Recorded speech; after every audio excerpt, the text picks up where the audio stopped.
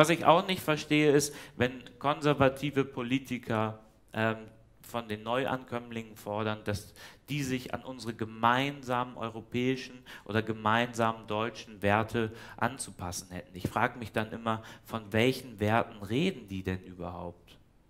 Ne? Man muss sich ja nur mal Umfragen angucken, um zu sehen, es sind immer etwa 50 Prozent für die liberale Idee und etwa 50 Prozent dagegen.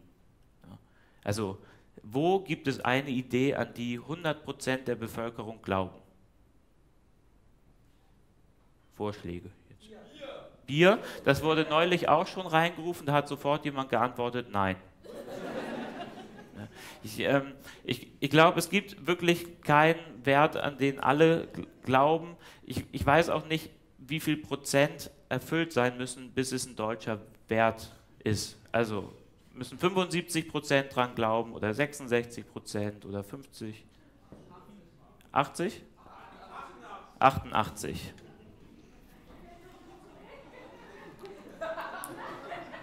Publikum in Heidelberg nicht mehr fragen.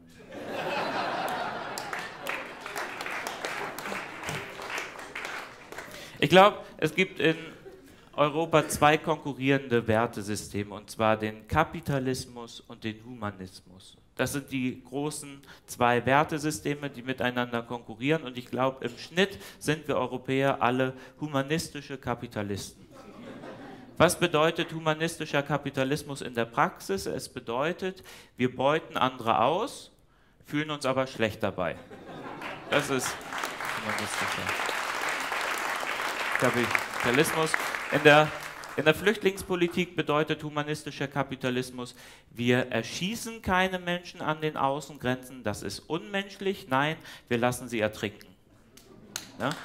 Wir, wir, wir glauben, dass Mord falsch ist, Töten durch unterlassene Hilfeleistung aber gut.